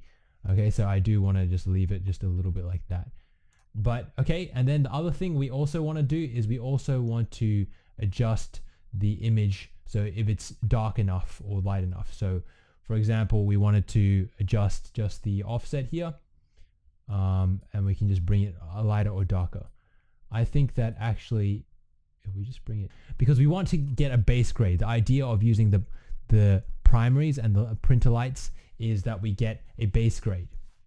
So that looks accurate. Okay so the printer lights here is used basically to um, we want to make sure that this image is correct color wise for example if there was a lot of magenta here like or something else then we want to cancel that out by increasing the green like or um, or in, or doing something else. In this case, like this this image is already pretty balanced, I would say. So we don't actually need to increase or decrease the gr the green or the blue or anything, right? I think this image is already pretty balanced. So 25, I'll just bring this back to 25. But if we needed to increase or decrease, we could just use like this this offset node here. So in fact, let me just, I think it is a little bit too warm. So I'm just going to bring down, I'm going to bring up the blue just a tiny bit. Not too much, maybe just a tiny bit there. Okay, so let me just control D just to see the effect. And you can see that we're kind of just balancing it out a little bit so that we don't have as much green. So because once we have this base grade, we can kind of color grade it however we want. So we decreased, I think actually, so if we increase this, yeah, I think it, it could use a little bit more dark here. Okay, so that's fine. So we just decreased the offset and we decreased the contrast as well. Okay, so we've made the image a little bit darker, we reduced the contrast. Now, to the next thing, we want to actually bring in the, the teal and orange look. So what we're going to do is I'm just going to go towards the green. So I'm just going to really go for this here. Um, and I'm just going to just bring it down here and it doesn't really matter too much. So just don't worry about too much because what we're going to do is we're going to cancel this out by changing the gamma here. Okay, so we're just going to add in some magenta. Okay, so I'm just going to add in some magenta to cancel a little bit of that out. I can just get rid of the blue. I don't want so much blue in this. So I'm just going to just adjust this blue right here. And this maybe just bring it up a little bit. Just can canceling it out with some magenta. Okay, so kind of have it like that. Okay, so that's fine there. And so what we're going to do with the next one is this teal and orange. So this one is the no label. So teal orange correction. Sorry, this one should be like if we look at this label here, it's correct. Let me just call this correct teal orange. So we need to have anchors, right? So we need to have the blacks being black. We need to have the, the, white to also be white and then we also need the skin color to be a skin color, right? So we need to go to the log wheels here and we're going to adjust the shadows here. So we're going to adjust this shadow to add in a little bit of um, magenta. So you can see that now the blacks are actually looking black here. So this is now black by just adding a little bit of magenta. And we're just going to even just add a little bit more. And you see the blacks there. And then now we can use this mid-tone and we can actually just make it a little bit more, uh, bring in a little bit more of that orange. So it looks like skin tone. Yeah, that looks like skin tone. Um, because she is uh, dark skinned. And then now we're just going to the highlights here. The highlights look okay, they look white. So what we're going to do now is we're going to like bring down the lift here. So I clicked on the look adjustment node here. And now we're just going to, so we can bring down the shadows here by just adding a little bit. Okay, so we're bringing down the shadows because, well, the, we, we want the skin to be actually dark, right? So if I just bring it up,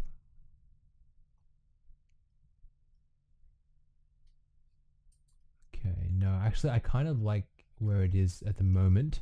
So I'm going to leave it at zero actually, but what I can also do is the gain here, I can just bring it down a little bit. No, actually I can't. That's fine actually. I don't think we need to add this, like change this one. So what I'm also going to do is I'm just going to select the highlights of this image, mainly over here. If I can just select this highlight here. I pretty much clicked on the eyedropper here and then I clicked on this here. You can see that it doesn't actually change um, that. So I'm just going to press Shift H so you can see what I'm selecting here. And what I'm going to do with these highlights is I'm actually just going to bring them. So first of all, I'm just going to uh, make this a little bit more smooth by adjusting the bars so I have a uh, smoother, more like gradual fall off here. You can see it's slightly smoother. Wait, let me just just experiment kind of thing. Because we have these really bright highlights. I think we can just bring them down a little bit. If I press shift H again and now let me just adjust these highlights. So I'm just gonna go here and I'm just going to so I can just bring it down a little bit maybe just a tiny bit. So maybe 0.94 okay it's just to bring those highlights down. Okay so what you can also do is you can also add like just a little bit of contrast um, by editing these splines. So you can just go like this, editable splines, and you can edit this here. And I'm just going to edit it just slightly so I can add in a tiny bit of contrast. And you know what? I'm actually just going to add in the glow here. And I'm just going to go effects, glow. And I'm just going to drag in this glow right here. Okay, and I'm, I'm just going to change this to, instead of uh, composite type, I want to change it to soft light. And I'm just going to uh, change the shine threshold to that. And let's change the spread to that. Okay, so you can see it's too strong. So we're just going to bring up the global blend here and just let me just go. So this is the, so we're just going to add in a little bit, just something like that. Okay, and we're just going to um, pretty much do that. And let me just change, actually, in fact, the spread a little bit. So we can have just a little bit of a punchier image. Okay, that's good. And what we're going to also do is I'm also going to change, add in the grain here. So let me just look for the effect grain and just grab it in. And we can just change this a little bit. So I'll just change this to um, 16 millimeter um, archival print, which is pretty heavy. So you can actually start to see it in like the clothing right here. So you can see that they've added the grain. Okay, so that's good, but let's see how we can change this look up a little bit. So we can make this look actually look more extreme by just going to the look, the look and we can just bring it into the teal and orange a little bit more, right? So we can even just bring it down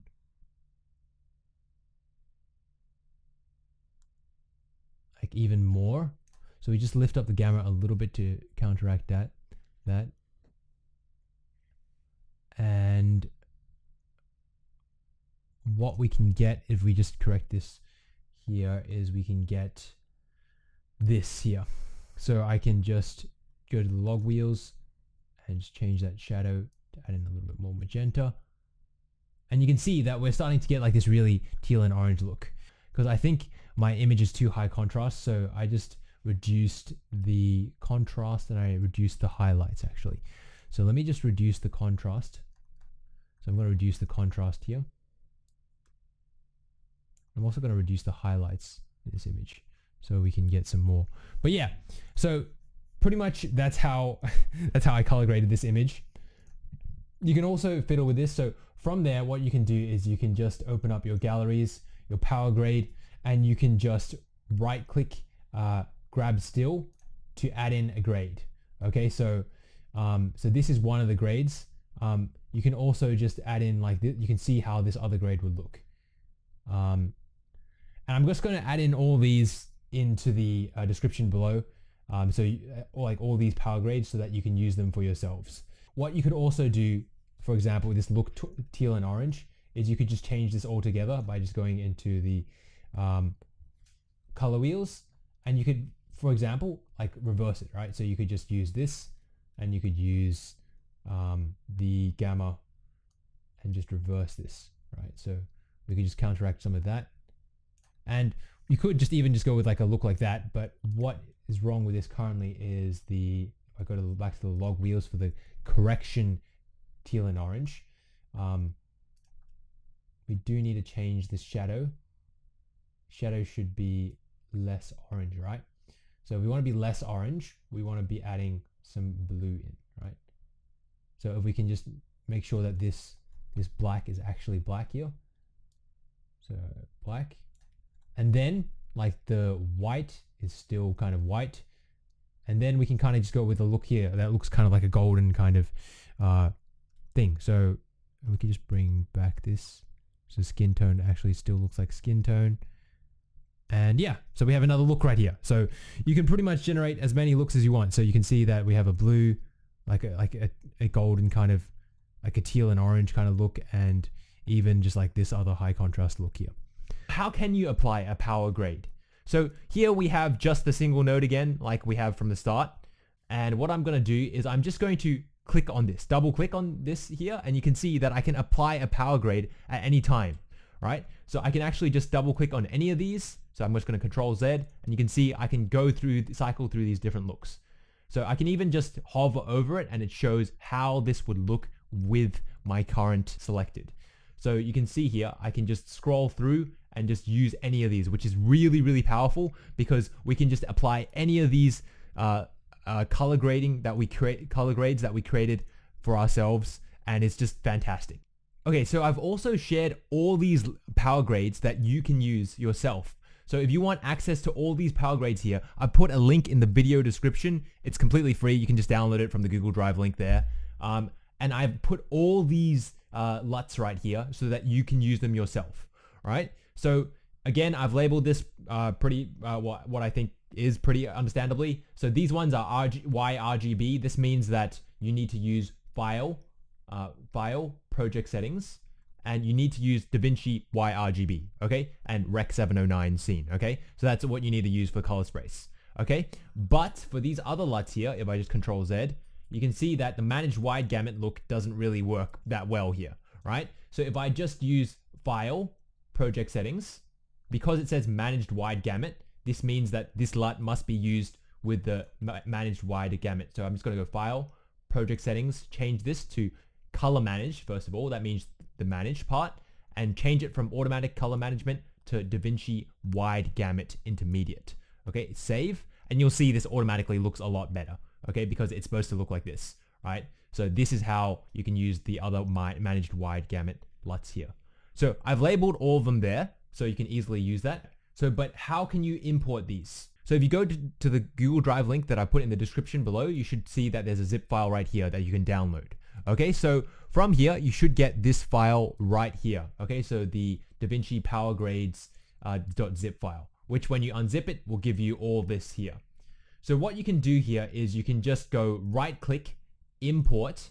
Okay, so just go to the unzipped folder that you've unzipped and then just import all the DPX files. Okay, so it does import it twice if you import the DRX and DPX files, but let me just import a few uh, DPX files just so you can see. Um, let me just import three, okay? And you can just imp import and you'll see that you have these three that you can add into your file, right? So once you delete this, uh, and then you can just use this, right? So you can double click on it and then you suddenly have the look, okay? So the same uh, power grade that I was using. Please note that these power grades require that you use the Filmic like LUT here. So for example, if this isn't working, make sure that you have right click LUT and make sure that this is the Filmic Blender uh, or, or, the Filmic um, scene linear to base encoding, right? Remember this scene linear to base encoding. And this second node here relies on the LUT, which is LUT Filmic base contrast. Okay, so that's why how all of these work because they need that LUT to work. But as another step, how can you export these LUTs? For example, uh, if I wanted to export these LUTs so I could use it on another computer or someone else could use it. So in order to export your power grades, here's how you can do this. First of all, you want to label your power grade. So let's just create, let's say that this is the power grade that I wanted to, um, first of all, create. So first of all, all I'm going to do is I'm going to open up the gallery. I'm going to go to power grades. I'm going to right click and grab still. Okay, so I have this still now. So now I'm just going to give it a name. So I'm just going to right click on this. I'm going to go um, change label. And how I label this is I know this is in a YRGB color space, right? So I'm just going to label this with YRGB dash. And I'm going to call this something about how it looks. So I'm just going to call it purple uh, contrast, just something like that. Just another tip is when you right click here, make sure that you uh, enable the use labels on still export. Okay, so make sure this is labeled. Otherwise, your uh, power grades will not have labels and it'll be really hard for anyone to actually use them.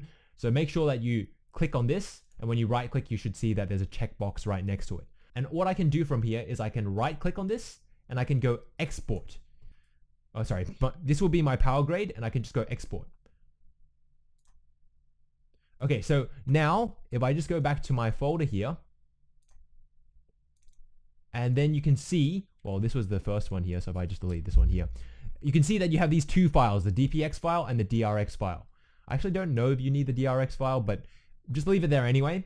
Um, so in order to ex to import these again, um, you can just go right click and import, and you can just um, import just the same file that you had, this DPX file, or this DRX file, either, either of them will work. So you can just import it, and you can see I've imported this one back in. So if I just delete these, I can just double click on this and you can see this whole look comes straight back. I'm not going to go over because I'm not going to go over the other ones that you can also use. Um, but basically these other ones, I'll just explain them. Okay, so these other looks here that I've also created are for, they're actually, the reason why they're so high contrast is because they're for a different color space entirely. So they were actually made for, if I just go to project settings and I go back to DaVinci YRGB, um, and if you save this, and you can see that that's how they're supposed to look. And you can see there's lots of different looks that I've created. So pretty much I'll put these in the description below, but I'll show you exactly how this works. So we're using like the same base encoding, but all we did is we added denoising here. So I just added um, this here. I added temporal threshold and um, chroma and then I just added the uh, spatial and chroma noise here as 5 just to kind of denoise that. The contrast node here was basically just adding in um, I think it was a little bit of contrast through the through this so yeah so and then we just added the color here but yeah so that's pretty much it so from here you can just grab your still so if I had like, for example, if I wanted this still, I can just grab still. Um, so I just go to stills, I go grab still and I have this and I can right click and I can export. And you can see that you can export your stills like this. So let me just export it into here and we'll just change it to PNG.